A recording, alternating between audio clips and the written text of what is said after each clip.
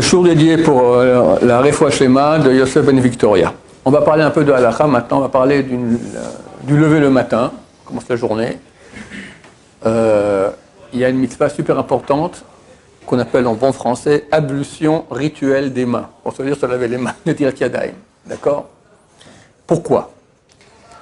Quand on dort, notre âme quitte le corps. Et il n'y a jamais du vide. Ça n'existe pas dans le Torah vide. Ou il y a la sainteté, ou il y a l'impureté, les forces du mal.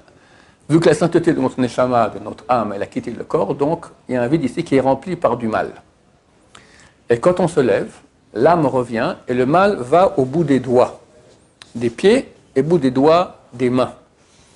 Pourquoi? Le Ben explique qu'il y a, euh, au niveau kabbalistique, il y a cinq forces du mal qui correspondent aux cinq lettres qui sont finales, man separ, même nun pe kaf. 5 et 5 et 5 aussi en bas. Et donc il y a de l'impureté au bout des, mains. Et le seul moyen de faire partir, c'est avec le chesed. Chesed, c'est l'eau. L'eau est comparée au chesed. Le seul moyen de faire partir cette touma, c'est se laver les mains par euh, alternance, merci, trois fois par main. On commence à mettre sur la main droite, après sur la main gauche, droite, gauche, droite, gauche. C'est bien, ceux qui peuvent, faire quatre fois. Il y en avait qui disent qu'il faut faire quatre fois, ça coûte rien, faire un peu plus, mais celui qui fait cela, il doit dire blinéder auparavant. C'est-à-dire à voix haute, je prends blinéder selon la coutume de faire quatre fois, sinon ça devient un éder. Oui.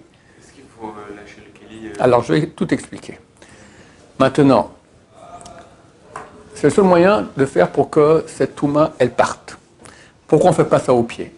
Vu que j'ai dit que ça venait aussi au pied. Alors, C'est Ben Isha, il dit que dans les pieds, la puissance des forces humaines est beaucoup plus forte. On n'a pas la force de faire partir cela.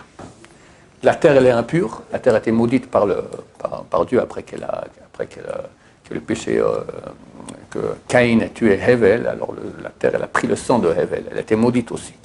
Donc elle est très impure. Le seul endroit où on pouvait enlever cette impureté des pieds, c'était dans le temple. Les Kohanim, quand ils rentraient au temple, Netilat. C'était obligatoire de faire Netilat des mains et des pieds. C'est après le pied avec la main comme ça, et verser sur les deux.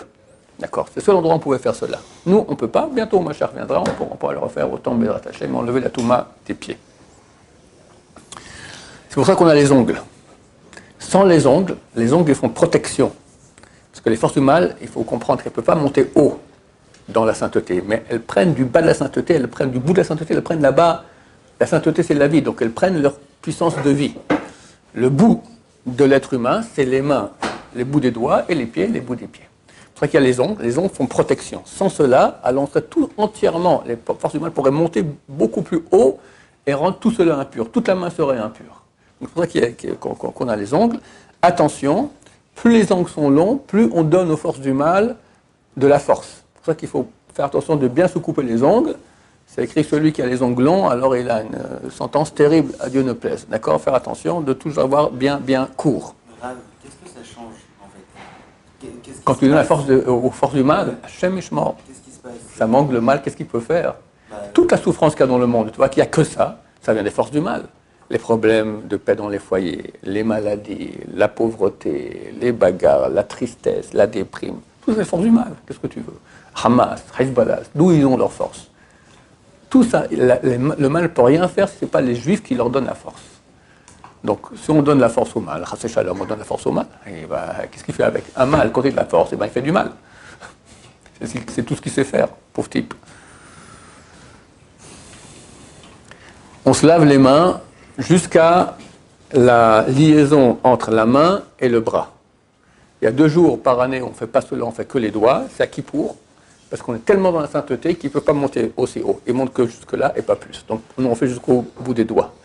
Et à Tisha B'Av, que c'est tout, ça appartient au côté négatif, donc ça sert à rien de faire même jusque-là, parce que de toute façon, ils, prennent tout. Donc alors on fait, on, fait, on fait la moitié, ça sert à rien de faire le tout, parce que de toute façon, ils ont une très grande puissance ce jour-là. C'est bien d'après la Kabbalah, après qu'on s'est lavé les mains trois fois, de se frotter les mains comme ça. 1, 2, 3, 1, 2, 3. C'est pas obligatoire, mais c'est bien d'après la Kabbalah. Et ensuite, on lève les mains à hauteur de visage, pas plus haut, et directement on fait la bracha. Le Zohar Kadosh dit qu'on n'a pas le droit de lever les mains pour rien. Mais pour Netilat Yadayim, oui. C'est pour ça qu'on appelle, appelle cela d'ailleurs Netilat Yadayim. Netilat, ça veut dire lever. C'est pas Rechitsat Yadayim, se laver les mains, c'est lever les mains. Et on les met comme ça, comme si on veut recevoir un flux de lumière qu'on reçoit en vrai, d'Hachem à ce moment-là. On fait la bracha et après on s'essuie les mains. Si quelqu'un s'est essuyé les mains et a oublié de faire la bracha, dans tous les cas que nous avons, enfin il n'y en a pas 40 000, il y en a un seul cas encore dans la bracha, on se lave les mains avec bracha, c'est quand on mange du pain ou beaucoup de gâteaux. D'accord? Là on fait la bracha. Si on a oublié, c'est trop tard. Tant pis pour la bracha. Mais dans le cas du matin, vu qu'il y a un avis qui dit que c'est valable aussi après, la bracha n'est pas comme ça. On fait d'abord la bracha et après on se lave les mains. Mais un avis qui dit non, tu peux faire après. Alors on peut compter, si on a oublié, faire la bracha aussi une fois qu'on s'est essuyé les mains. D'accord? Même que c'est déjà sec, on peut faire la bracha aussi. Uniquement la bracha dans la Netilat du matin. Il y a une question? Oui. Euh, c'est vrai que Netilat euh, du matin, il ne faut pas qu'il y ait de kelim en dessous pour pas nettoyer. Alors, l'eau. Alors, qu'est-ce qui se passe? Si quelqu'un va dormir avant minuit, quand il dort au moment de minuit, il reçoit beaucoup de force du mal, qui font que cette impureté est beaucoup plus forte. Il y a deux choses qui vont changer. Si quelqu'un va dormir avant minuit ou après minuit, on parle de minuit juif, pas à goy, juif. Le minuit juif aujourd'hui, il est, je pense, à minuit, il est à minuit 38, quelque chose comme ça. Voilà. Et dans l'horaire d'hiver, c'est 11h38. Ça varie entre et demi et moins 10. Aujourd'hui, c'est à 38 environ.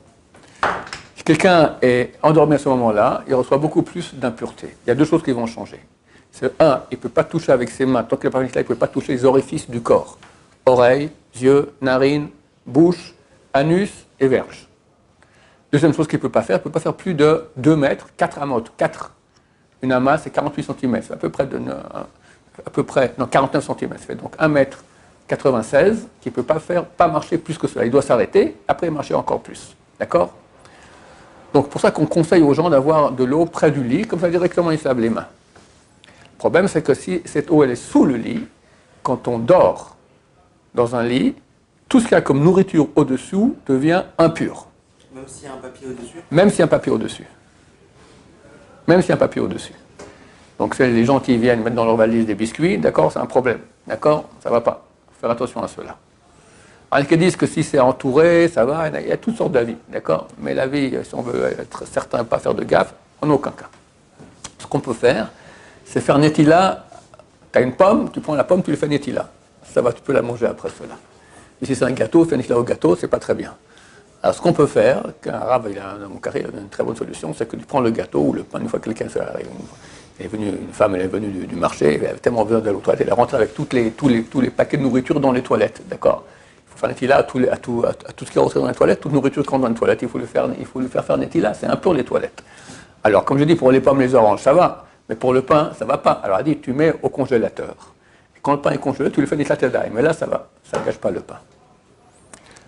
Euh, donc, ces deux choses-là, si on va dormir avant minuit. Après minuit, un, on peut, on peut se toucher les mains avec euh, les orifices. Deux, on peut faire plus de 4 mètres. C'est pour ça qu'on conseille d'avoir l'eau qui est près du, près du lit. Mais pas tout le monde fait cela, parce que des fois, quand tu fais ça, la moitié part, part aussi à côté. Et c'est une eau qui est extrêmement impure. Donc, si on peut avoir un lavabo qui n'est pas trop loin du lit, c'est mieux. Et si on est dormi avant minuit, le lavabo il est loin et qu'on n'a pas d'eau à côté, alors on fait moins de 4 mètres, on s'arrête. Pardon, moins de 2 mètres, c'est vrai, c'est moins de 4 amotes, moins de 2 mètres, on s'arrête. Moins de 2 mètres, on s'arrête, moins de 2 mètres, on s'arrête, c'est vrai comme ça.